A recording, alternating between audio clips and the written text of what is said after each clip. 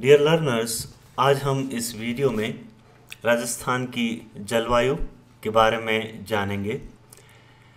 जैसा कि आप जानते हैं, मौसम की औसत दशाओं को जलवायु कहा जाता है।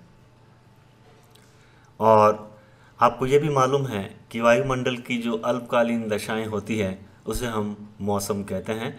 और मौसम जो है, वो क्षण प्रतिक्षण बदलता रहता है। मौसमी दशाओं में तापमान, वायुदाब, वर्षा, आर्द्रता आदि का महत्वपूर्ण स्थान है। इन मौसमी दशाओं के लंबे समय के अध्ययन के बाद ही किसी स्थान की जलवायु के बारे में ज्ञान प्राप्त होता है या हम उस स्थान की जलवायु का निर्धारण करते हैं। आप इसको एक इस उदाहरण से समझिएगा कि जैसे आप कोई फ़िल्म देखने जाते हैं। अब उस फ़िल्म में तीन घंटे में आपके पर्दे पर क्षण प्रतिक्षण जो सीन चेंज हो रहा है, वह तो है मौसम। और ये सारे सीन मिलकर, यानी ये सारे मौसम मिलकर उस फ़िल्म के टाइटल यानी शीर्षक को चरितार्थ करते हैं। अर्थात ये सारे सीन या मौसम मिलकर जलवायु का निर्धारण करते हैं। यहाँ आपको ये बात ध्यान रखनी है कि हम भारत की जलवायु को केवल एक शब्द, मानसून से अभिव्यक्त करते हैं। मानसून की एकात्कारी भूमिका का ही परिणाम है कि वास्तव में मानसून राजस्थान के थार मरुस्थल से लेकर अरुणाचल प्रदेश या केरल में सभी जगह व्यापक रूप से पाया जाता है। लेकिन मानसून प्रकार की जलवायु की इस व्यापक एकता में भी आपको क्षेत्रीय या प्रादेशिक जलवायु विभिन्नताएँ देखने को मिलेगी, क्योंकि ये विशेषताएँ एक ही प्रशासनिक इकाई में जलवायु की भिन्नता को जन्म दे देती है। उदाहरण के लिए, राजस्थान में ही माउंट आबू और झालावाड़ की विशेषताएँ जैसलमेर और गंगानगर की जलवायु से अलग है।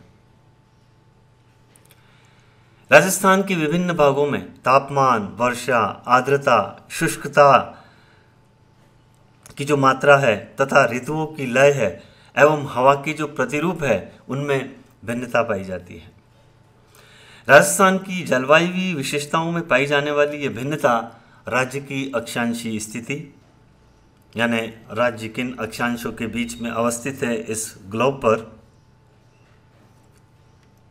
समुद्र तट से दूरी, अर्थात राजस्थान समुद्र तट से, यानी अरब सागर और बंगाल की खाड़ी से कितना दूर स्थित है? औसत समुद्र तल से ऊंचाई, यानी राजस्थान का जो धरातल है, वो मीन सी लेवल से कितना ऊँचा है?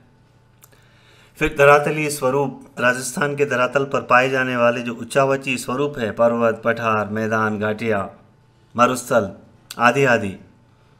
इसी तरह से जलीय भागों की उपस्थिति, वायु दिशा एवं वायु की गति आदि द्वारा जलवायु निर्धारित होती है। अक्षांशी स्थिति के द्वारा किसी भी स्थान पर प्रकाश की अवधि एवं सूर्य की किरणों का कोण निर्धारित होता है। आपको मालूम है, या आप जानते हैं कि एक ही अक्षांश पर स्थित सभी स्थान इस पृथ्वी पर सूर्यताप की, यानी इंसोलेशन की समान मात्रा प्राप्त करते हैं। लेकिन बावजूद उसके सभी स्थानों की जलवायु या उनकी तापमान संबंधी विशेषताएँ एक समान नहीं होती है, क्योंकि स्थान स्थान का धरातली स्वरूप, धरातल का स्वभाव, समुद्र तल से ऊंचाई, समुद्र तट से दूरी, जल की उपलब्धता, वनस्पति का आवरण, प्रचलित पवन पवन की दिशा आदि कारक एक ही अक्षांश पर स्थित स्थानों में जलवायु संबंधी असमानताएँ उत्पन्न कर देते हैं। और राजस्थान में एक ही अक्षांश पर पूर्व पश्चिम स्थित स्थानों में यह असमानताएँ हमें स्पष्ट दिखाई देती है। आप ग्लोब पर देखें कि राजस्थान जिन अक्षांशों के मध्य स्थित है, अर्थात 23 डिग्री 3 मिनट से 30 डिग्री 12 मिनट उत्तरी अक्षांश के बीच राजस्थान राज्य की अवस्थिति है। यदि आप इन अक्षांशों में विश्व के अन्य भागों को देखें तो आप पाएँगे कि इन्हीं अक्षांशों में अल्जीरिया, लीबिया, मिस्र, सऊदी अरब और भारत का पश्चिमी बंगाल राज्य भी स्थित है। आप पाएँगे कि अल्जीरिया, लीबिया, मिस्र और सऊदी अरब की जलवायु राजस्थान की अपेक्षा अधिक अतिशयता यानी एक्सट्रीमिटी से युक्त है। लेकिन भारत में, पश्चिमी बंगाल में बंगाल की खाड़ी की समीपता के कारण उस राज्य की जो जलवायु है, वह उष्ण और आर्द्र है। लेकिन हम, यानी राजस्थान, समुद्र तट से दूर हैं और जलीय भाग की जो उपस्थिति है, वह हमसे काफ़ी दूर है। फलस्वरूप, हमारी जलवायु में शुष्कता विद्यमान है। तो एक समान अक्षांशों पर स्थित होने के बावजूद भी पश्चिमी बंगाल की जलवायु उष्णाद्र है और हमारे राजस्थान की जलवायु उष्ण शुष्क है। राज्य में माउंट आबू और झालावाड़ एक समान अक्षांश पर स्थित है। यदि आप ग्लोब पर देखें तो माउंट आबू और झालावाड़ चौबीस डिग्री पैंतीस मिनट उत्तरी अक्षांश के ऊपर अवस्थित हैं। लेकिन जून माह में माउंट आबू पर औसत अधिकतम तापमान 32 डिग्री सेंटीग्रेड होता है तो झालावाड़ में यही औसत अधिकतम तापमान 40 डिग्री सेंटीग्रेड के आसपास रहता है। दोनों ही स्थानों के तापमान में इस असमानता का कारण समुद्र तल से ऊंचाई है। माउंट आबू समुद्र तल से लगभग 1700 मीटर ऊँचा है तो झालावाड़ 310 से 325 मीटर की ऊंचाई पर अवस्थित है। ऊंचाई में यह अंतर दो स्थानों के बीच तापमान में और जलवायु में अंतर ला देता है। यही भिन्नताएँ राज्य में वर्षा के वितरण प्रतिरूप में भी देखने को मिलती है। झालावाड़ में वार्षिक वर्षा की मात्रा 90 सेंटीमीटर से अधिक है तो दूसरी ओर राज्य के पश्चिमी भाग में जैसलमेर में वार्षिक वर्षा का यह औसत 15 से 18 सेंटीमीटर के बीच है। अरावली पर्वतमाला में स्थित माउंट आबू में मानसून काल में एक महीने में उतनी वर्षा हो सकती है, जितनी जैसलमेर में छः या सात वर्षों में होती है। राज्य के पश्चिम में स्थित बालू का मैदान, जिसे हम थार के रेगिस्तान के नाम से जानते हैं। मध्य में स्थित अरावली पर्वत श्रेणी उत्तर पूर्व में फैला मैदान और दक्षिण पूर्व भाग में फैला हाड़ौती का पठार, या हम जिसे मालवा का पठार का उत्तर पश्चिमी विस्तार कहते हैं, ने राज्य में जलवायु दशाओं को विविधताएँ प्रदान की है। लेकिन इन विविधताओं को मानसून ने एकाकार करने का प्रयास किया है। राज्य में 50 सेंटीमीटर मान वाली संवर्षा रेखा, जो अरावली पर्वतमाला की शीर्ष रेखा, यानी क्रेस्ट लाइन का अनुसरण करती है के पूर्व में अर्धशुष्क, दक्षिण एवं दक्षिण पूर्व में आर्द्र एवं उपाद्र तथा पश्चिमी भाग में शुष्क जलवायु पाई जाती है। राजस्थान की जलवायु विविधताओं से युक्त है। सामान्यतः राज्य की जलवायु देश में शुष्कतम ड्राइस्ट है।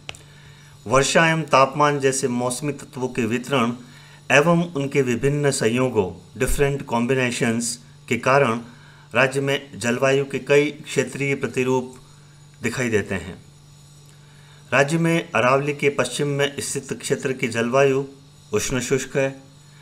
उच्च दैनिक एवं वार्षिक तापमान, उच्च दैनिक तापांतर, कम आर्द्रता, उच्च वायु गति, कम वर्षा और इसका अनिश्चित वितरण तथा सूखे की बारंबारता इस क्षेत्र की जलवायु की प्रमुख विशेषताएँ हैं। अरावली के पूर्व में जलवायु उष्ण, अर्धशुष्क तथा दक्षिण एवं दक्षिण पूर्व में उप आर्द्र एवं आर्द्र है। राज्य के दक्षिणी एवं दक्षिणी पूर्वी भागों में अपेक्षाकृत पर्याप्त वर्षा हो जाती है। राज्य में होने वाली वर्षा की मात्रा अपर्याप्त है। अर्थात राज्य में होने वाली वर्षा मात्रा की दृष्टि से अपर्याप्त है। राज्य में वार्षिक वर्षा का औसत सत्तावन दशमलव पाँच एक सेंटीमीटर है, लेकिन इसका वितरण अनिश्चित, असमान एवं अनियमित है। फलस्वरूप प्रतिवर्ष राज्य के किसी न किसी भाग में सूखे की स्थिति बनी रहती है। राज्य में जिला स्तर पर वर्षा के वितरण में भी अत्यधिक असमानता विद्यमान है। राज्य के दक्षिण पूर्व में स्थित झालावाड़ ज़िले में वार्षिक वर्षा का औसत 90 सेंटीमीटर से अधिक है। तो दूसरी ओर राज्य के उत्तर पश्चिम में स्थित जैसलमेर ज़िले में वार्षिक वर्षा का औसत 15 सेंटीमीटर है। राज्य में जलवायु का लयदार परिवर्तन रिदमिक चेंजेस इसकी अनूठी विशेषता है। यह लयदार परिवर्तन क्रमशः बसंत, जो कि चैत्र और वैशाख महीने में महसूस होता है। ग्रीष्म, ज्येष्ठ और आषाढ़ वर्षा, श्रावण और भाद्रपद, शरद आश्विन और कार्तिक महीनों में, हेमंत, मार्गशीर्ष और पोष, तथा शिशिर, माघ एवं फाल्गुन के रूप में अनुभव की जाती है। राज्य में वर्षा की मात्रा में दक्षिण पूर्व से उत्तर पश्चिम की ओर क्रमशः कमी होती जाती है। राज्य में वनस्पति की सघनता एवं जनसंख्या घनत्व भी वर्षा प्रारूप के अनुरूप ही दिखाई देता है। डियर लर्नर्स राजस्थान में ग्रीष्म ऋतु मार्च से प्रारंभ होकर मध्य जून तक रहती है। 21 मार्च के बाद ही सूर्य की किरणें पृथ्वी के उत्तरी गोलार्ध में सीधी पड़ना प्रारंभ हो जाती है। आपको मालूम है कि राजस्थान उत्तरी गोलार्ध में 23 डिग्री 3 मिनट उत्तरी अक्षांश से 30 डिग्री 12 मिनट उत्तरी अक्षांश के मध्य अवस्थित है। अतः राज्य में मार्च के महीने से ही तापमान का बढ़ना आरंभ हो जाता है। राज्य के दक्षिण में बांसवाड़ा ज़िले से गुजरने वाली कर्क रेखा ट्रॉपिक ऑफ़ कैंसर पर 21 मार्च को प्रकाश की अवधि 12 घंटे व सूर्य की किरणों का कोण मध्यान्ह के समय साढ़े छियासठ डिग्री रहता है। 21 जून को कर्क रेखा पर प्रकाश की अवधि 13 घंटे 27 मिनट तथा सूर्य की किरणों का कोण मध्यान्ह के समय 90 डिग्री रहता है। ये इसलिए होता है कि 21 जून को कर्क रेखा सूर्य के बिल्कुल सम्मुख होती है। संपूर्ण राज्य में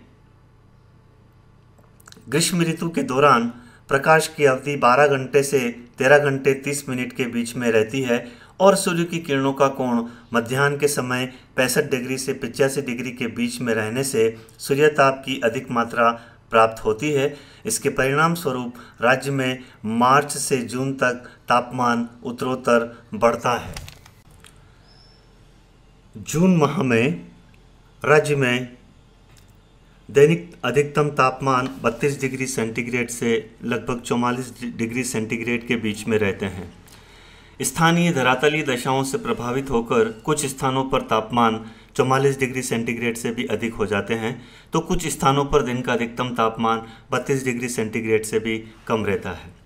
उदाहरण के लिए बीकानेर, बाड़मेर, फलोदी, चूरू, गंगानगर आदि में दिन का अधिकतम तापमान कई बार 46 डिग्री से उनपचास डिग्री सेंटीग्रेड तक पहुँच जाता है।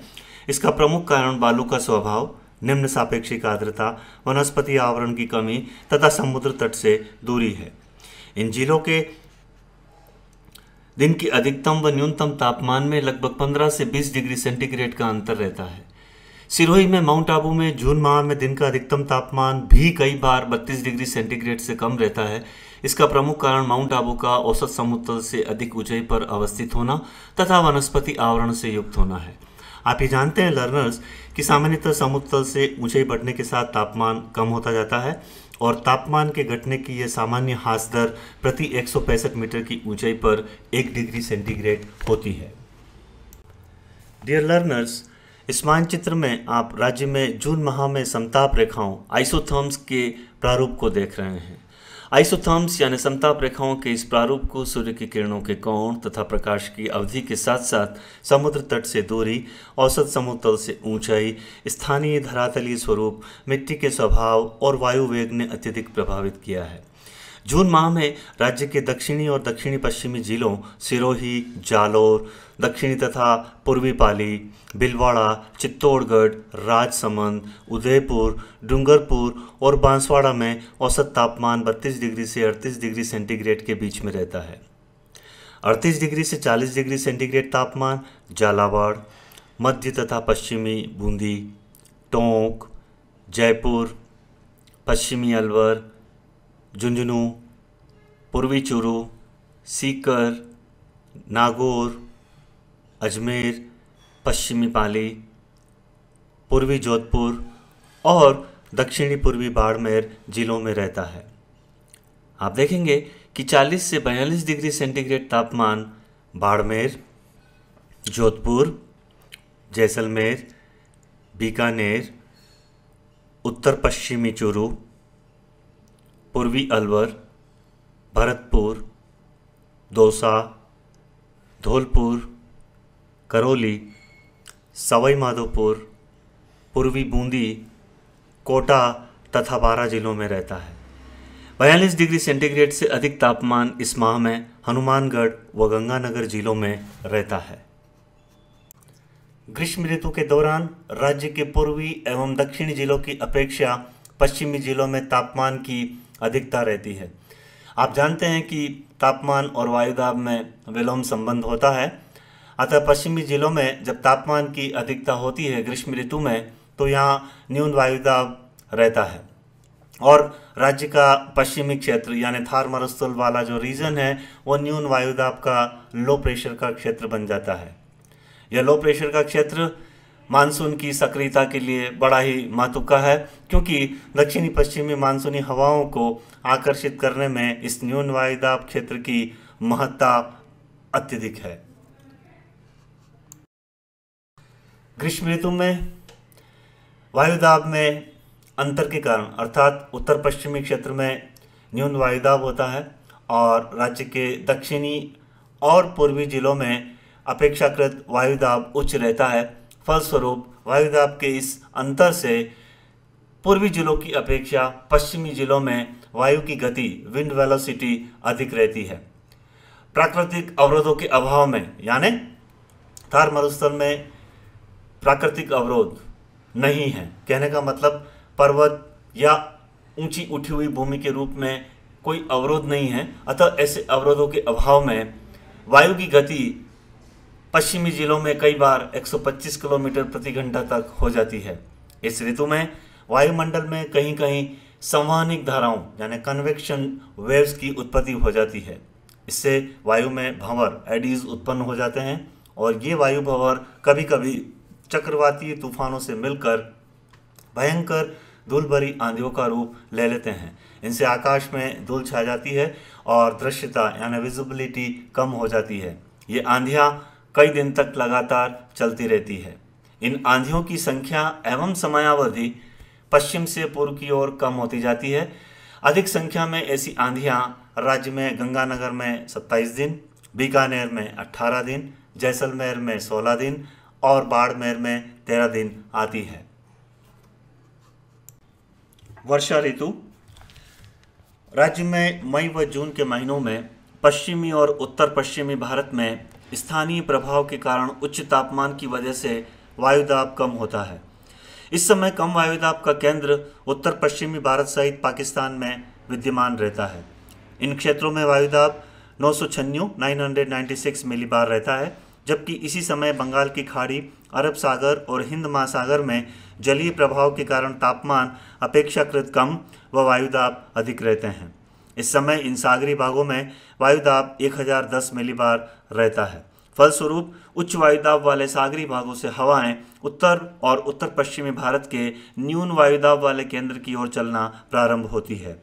इन हवाओं के साथ दक्षिणी गोलार्ध की दक्षिणी पूर्वी व्यापारिक हवाएँ ट्रेड विंड्स भी सम्मिलित हो जाती है। इन हवाओं को देश में दक्षिणी पश्चिमी मानसूनी हवाओं के रूप में जाना जाता है। भारत की भौगोलिक रचना के कारण ये हवाएँ अरब सागरी मानसून एवं बंगाल की खाड़ी के मानसून के रूप में दो शाखाओं में विभक्त हो जाती है। यद्यपि मानसून की ये दोनों ही शाखाएँ राजस्थान से होकर पश्चिम तथा उत्तर पश्चिम की ओर विद्यमान कम वायुदाब केंद्र की ओर पहुँचती है, तथापि राज्य में वर्षा कम ही हो पाती है। राज्य में कम वर्षा होने के संभावित कारण ये हो सकते हैं कि बंगाल की खाड़ी से आने वाली मानसूनी हवाएँ मार्ग में वर्षा करते हुए जब राजस्थान में प्रवेश करती है तो उनमें विद्यमान आर्द्रता की मात्रा कम होती है।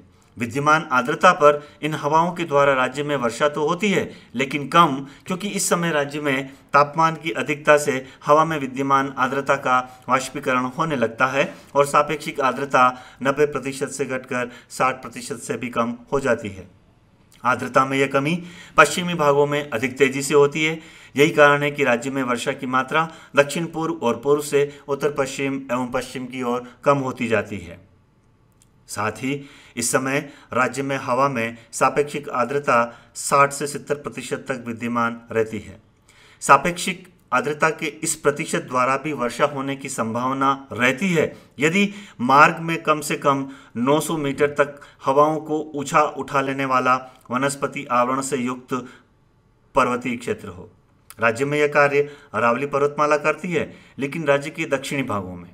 अन्यथा मध्यवर्ती व उत्तरी पूर्वी भाग में अरावली की ऊंचाई कम है। यही वजह है कि अरावली के पश्चिमी भागों में वर्षा की मात्रा में क्रमशः तेज़ी, तीव्र गति से आती है। अरब सागरी मानसूनी हवाओं से राज्य के दक्षिणी जिलों में तो पर्याप्त वर्षा हो जाती है, लेकिन उसके बाद अरावली पर्वतमाला इन हवाओं के समानांतर दिशा में होने के कारण अवरोध का कार्य नहीं कर पाता है। अतः आर्द्रता युक्त ये हवाएँ इस पर्वतमाला के समानांतर बहुत ही कम वर्षा करते हुए उत्तर पूर्व में दिल्ली की ओर चली जाती है, जहाँ बंगाल की खाड़ी की शाखा से ये हवाएँ पुनः मिलती है और उसके पश्चात ये पुनः अच्छी वर्षा करती हैं। वर्षा का वितरण राज्य में मध्य जून से सितंबर तक वर्षा की ऋतु रहती है। राज्य में होने वाली कुल वर्षा की 34 प्रतिशत वर्षा जुलाई माह और 33 प्रतिशत वर्षा अगस्त माह में होती है। राज्य में वार्षिक वर्षा का औसत सत्तावन सेंटीमीटर है और इसका वितरण 10 से 100 सेंटीमीटर के मध्य है। स्पष्ट है कि राज्य में वर्षा का समय और मात्रा तो अनिश्चित है ही, साथ में इसका वितरण भी असमान है। अरावली के पश्चिमी ढालों से, पश्चिम की तरफ़ वर्षा की मात्रा कम है। पश्चिमी भाग में सबसे कम वर्षा, यानी 10 सेंटीमीटर से कम, जैसलमेर के उत्तर पश्चिमी भाग में होती है। 20 से 30 सेंटीमीटर वर्षा, गंगानगर, बीकानेर, बाड़मेर। 30 से 40 सेंटीमीटर वर्षा, नागौर, जोधपुर, चूरू, जालौर। 40 से 50 सेंटीमीटर वर्षा, सीकर, झुंझुनू, पाली जिलों में, तथा अरावली के पश्चिमी ढालों पर होती है। अरावली के पूर्व में स्थित जिलों में वर्षा का वार्षिक वितरण 55 सेंटीमीटर, अजमेर ज़िले से लेकर 102 सेंटीमीटर झालावाड़ ज़िले के मध्य है। इस प्रकार जिला स्तर पर सर्वाधिक वर्षा झालावाड़ में 100 सेंटीमीटर और सबसे कम 10 सेंटीमीटर जैसलमेर ज़िले में होती है। प्रादेशिक दृष्टि से अरावली के पश्चिम में स्थित जिलों में वार्षिक वर्षा का औसत 50 सेंटीमीटर से कम है, जबकि पूर्वी जिलों में 50 सेंटीमीटर से 100 सेंटीमीटर के मध्य है। अरावली पर्वतमाला क्षेत्र में वर्षा का औसत 50 से 70 सेंटीमीटर है। मैदानी भूभागों में वार्षिक वर्षा का औसत 60 से पिचासी सेंटीमीटर है। राज्य में वार्षिक वर्षा का सर्वाधिक औसत दक्षिणी अरावली और दक्षिणी पूर्वी पठारी भाग में 90 सेंटीमीटर से अधिक है तो सबसे कम पश्चिमी बालू का मैदान में 30 सेंटीमीटर से कम है। राज्य में सर्वाधिक वर्षा वाला स्थान सिरोही ज़िले में माउंट आबू है, जहाँ वार्षिक वर्षा का औसत 150 सेंटीमीटर से अधिक है।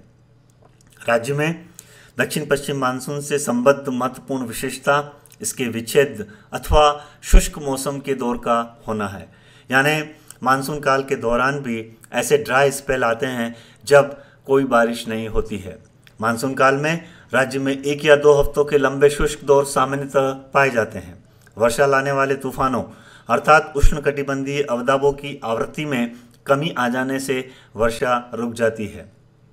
पश्चिमी राजस्थान में वर्षा कम होने का कारण वायुमंडल के निम्न स्तरों पर तापक्रमीय दशाएँ हैं। तापमान की विलोमता वर्षा करने वाली हवाओं को ऊपर उठने से रोक देती है।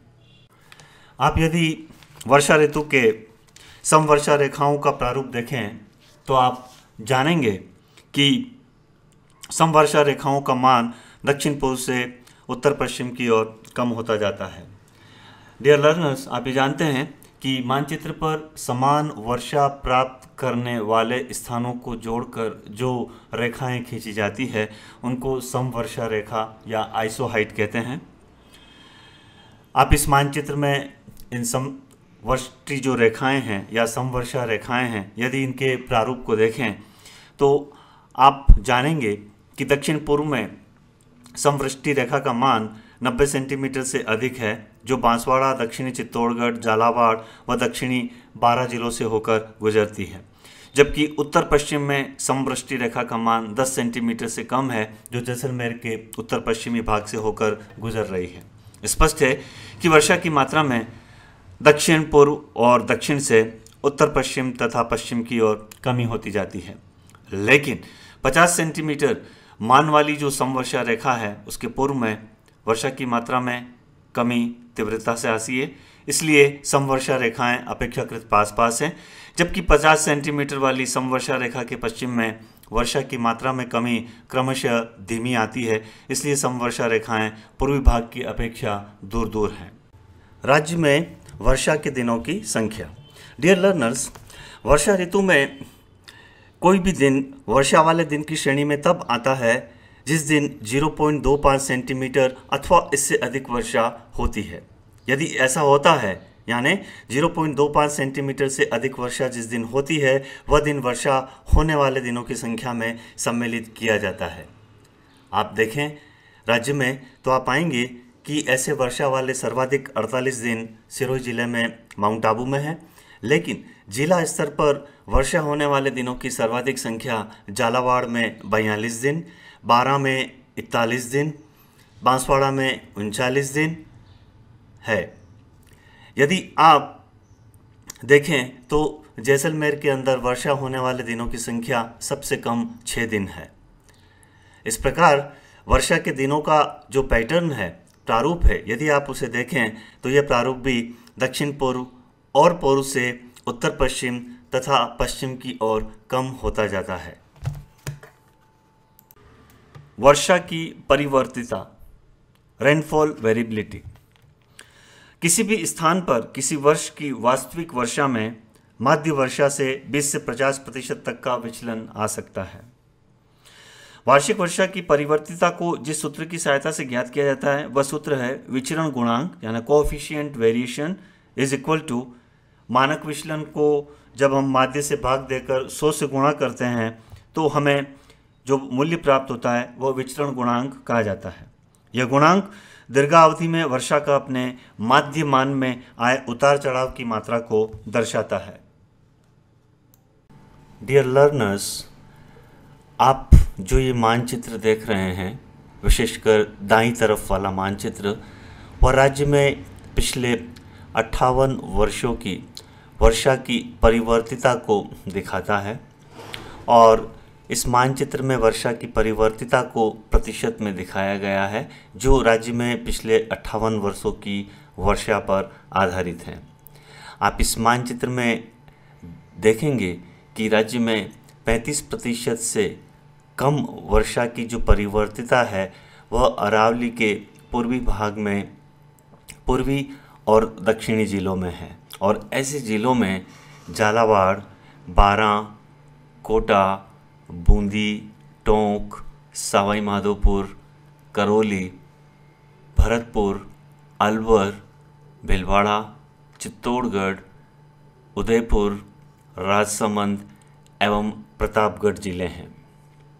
दूसरी ओर राज्य में वर्षा की परिवर्तिता सबसे अधिक पचास दशमलव एक प्रतिशत से अधिक अरावली के पश्चिम में, अर्थात बालूका मैदान के जैसलमेर, बाड़मेर और जालोर ज़िले में तथा सिरोही के पश्चिमी भाग में देखने को मिलती है। शीत ऋतु द कोल्ड वेदर राज्य में शीत ऋतु काल को हम दो भागों में विभक्त कर सकते हैं। मानसून का प्रत्यावर्तन काल, जो अक्टूबर माह में विद्यमान रहता है, और शीत ऋतु जो नवंबर से फरवरी तक महसूस की जाती है। मानसून का प्रत्यावर्तन काल जब मानसून रिट्रीट होता है, यानी जब वो राज्य से विदाई लेने लगता है, तेईस सितंबर के पश्चात सूर्य के संदर्भ में पृथ्वी की दक्षिणायन स्थिति के कारण दिन की अवधि छोटी और तापमान में अपेक्षाकृत कमी आने लगती है।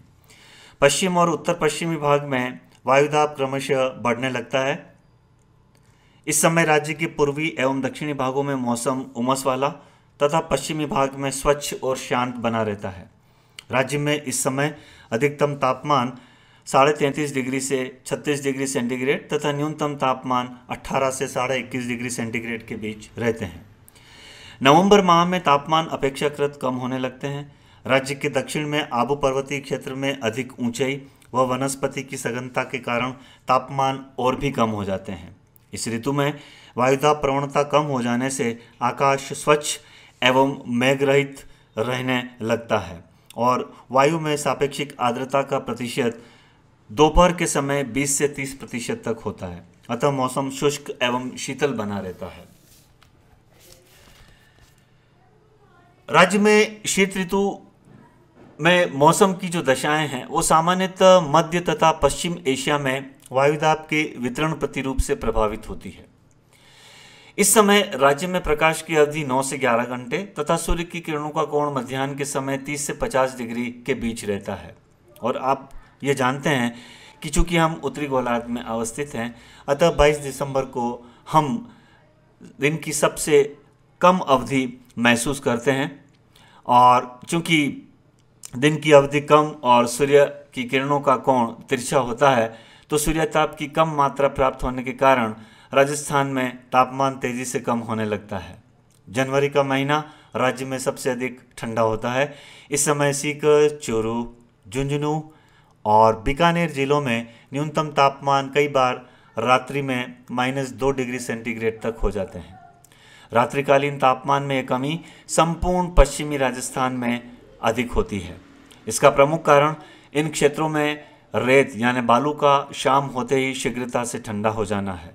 परिणाम स्वरूप रात्रिकालीन तापमान में अतिशीघ्रता से कमी आती है। इसी समय राज्य में पश्चिमी विक्षोभों से होने वाली वर्षा की अल्प मात्रा से भी रात्रि के तापमान में कमी आ जाती है और वायु वेग बढ़ जाने से शीतलहर चलने लगती है। जनवरी माह की समताप रेखाओं के मानचित्र को यदि आप देखें तो आप पाएँगे कि राज्य में जनवरी माह की समताप रेखाओं का मान उत्तर में 6 डिग्री सेंटीग्रेड से कम तथा दक्षिण पूर्व में 10 डिग्री सेंटीग्रेड से अधिक है। जनवरी माह में दक्षिण पूर्व में कोटा, बारा, बूंदी तथा पश्चिम में बाड़मेर ज़िले में औसत तापमान 10 डिग्री सेंटीग्रेड से अधिक तथा शेष भागों में 10 डिग्री सेंटीग्रेड से कम रहता है। इस प्रकार इस ऋतु में समताप रेखाओं का मान उत्तर से दक्षिण पूर्व की ओर बढ़ता है। वायुदाब एवं हवाएँ। शीत ऋतु में देश के पश्चिम व उत्तर पश्चिमी भाग में वायुदाब 1020 मिलीबार तथा सागरीय भागों में 1013 मिलीबार होता है। फलस्वरूप, उच्च वायुदाब से निम्न वायुदाब की ओर हवाएँ चलने लगती हैं। ये उत्तरी पश्चिमी हवाएँ ठंडी, शुष्क, मंद एवं परिवर्तनशील होती है। इनके द्वारा मौसम साफ़ एवं शांत बना रहता है, लेकिन जब कभी भूमध्य सागर से उठने वाले विक्षोभ डिस्टर्बेंसेस जो राज्य में पश्चिम और उत्तर पश्चिम से प्रवेश करते हैं, के साथ जब ये हवाएँ मिल जाती है तो इनके द्वारा राज्य में कहीं कहीं वर्षा हो जाती है। शीत ऋतु में होने वाली इस वर्षा को मावट कहते हैं। यह वर्षा रबी की फ़सलों के लिए लाभकारी होती है। इस वर्षा के कारण राज्य में तापमान में कमी आ जाती है और दो से पाँच दिन तक शीतलहर कोल्ड वेव का प्रभाव रहता है और वर्षा की मात्रा उत्तर तथा उत्तर पश्चिम से पूर्व की ओर घटती जाती है। शीत ऋतु में वायु में आर्द्रता की मात्रा कम होती है। प्रातःकाल में कम तापमान, कोहरा की उपस्थिति एवं ओस गिरने के कारण वायु की सापेक्षिक आर्द्रता उत्तरी व पश्चिमी भागों में 50 से 60 प्रतिशत तथा दक्षिण एवं पूर्वी भागों में 60 से 75 प्रतिशत होती है। सूर्योदय के पश्चात क्रमशः तापमान बढ़ने के साथ आर्द्रता कम होती जाती है और अपराह्न में 20 से 35 प्रतिशत तक रह जाती है। इस समय नहरों द्वारा सिंचित क्षेत्रों में सापेक्षिक आर्द्रता अपेक्षाकृत अधिक रहती है। राजस्थान में अधिशेष जल का वार्षिक औसत mean annual water surplus in Rajasthan.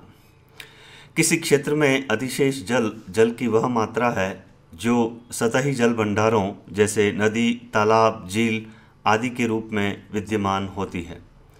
साथ ही मिट्टी के ऊपरी संस्तर, अपर हॉराइजन में मृदा नमी के रूप में संचित रहती है।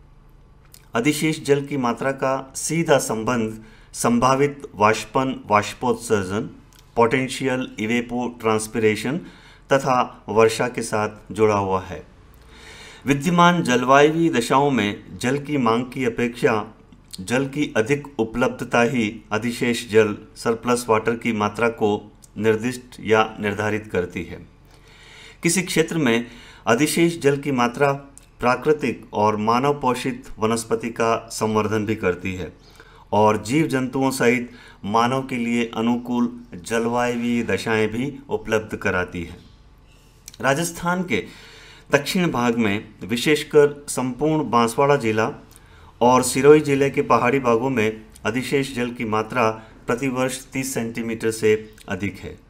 राज्य के दक्षिणी और दक्षिणी पूर्वी जिलों डूंगरपुर, चित्तौड़गढ़, झालावाड़, बारा, कोटा, बूंदी, उदयपुर, राजसमंद, भिलवाड़ा सवाई माधोपुर और धौलपुर जिलों के दक्षिणी भागों में अधिशेष जल की मात्रा जो वार्षिक है, वह 10 से 30 सेंटीमीटर के बीच है। उपरोक्त क्षेत्रों को छोड़कर राज्य के उत्तरी व पश्चिमी क्षेत्र में अधिशेष जल की मात्रा नगण्य है। ये क्षेत्र आर्द्रता की कमी वाले क्षेत्र हैं, जिनमें सूखे की स्थिति प्राय बनी रहती है। राज्य में संभावित वाष्पन, वाष्पोत्सर्जन का वार्षिक औसत, mean annual potential evapotranspiration. संभावित वाष्पन, वाष्पोत्सर्जन जल वाष्प की वह मात्रा है, जिसका भूमि तथा वनस्पति से वाष्पन यानी इवेपोरेशन होता है। इसमें जलाशयों यानी नदी, झील, तालाब, मिट्टियों चट्टानों के पृष्ठीय भागों और बढ़ते पौधों से वाष्प के रूप में नमी की होने वाली जो क्षति है, वह भी सम्मिलित है। राज्य में ग्रीष्म ऋतु में वाष्पन, वाष्पोत्सर्जन की दर, उच्च तापमान, कम सापेक्षिक आर्द्रता और तीव्र वायु वेग के कारण अधिक होती है। वाष्पन, वाष्पोत्सर्जन की दर धरातल पर वानस्पतिक आवरण के फैलाव को प्रभावित करती है। इसकी दर अधिक होने पर धरातल पर वानस्पतिक आवरण के फैलाव में कमी आती है। राजस्थान में संभावित वाष्पन, वाष्पोत्सर्जन की वार्षिक दर सबसे अधिक जैसलमेर ज़िले में 206 सेंटीमीटर तथा सबसे कम डूंगरपुर और बांसवाड़ा जिलों में 30 सेंटीमीटर से कम है। यह दर जून माह में सबसे अधिक तथा दिसंबर माह में सबसे कम होती है। उत्तरी व पश्चिमी जिलों में वर्षा ऋतु के दौरान भी वाष्पन वाष्पोत्सर्जन की दर वर्षण की अपेक्षा अत्यधिक होती है। फलस्वरूप ये ज़िले शुष्क जलवायु वाले हैं और इनमें सतही जल का अभाव वर्ष भर बना रहता है। राज्य के पूर्वी और दक्षिणी जिलों में वर्षा ऋतु के दौरान वर्षण की तुलना में वाष्पन वाष्पोत्सर्जन की दर कम होती है। फलस्वरूप इन जिलों में अधिशेष जल की उपलब्धता बनी रहती है।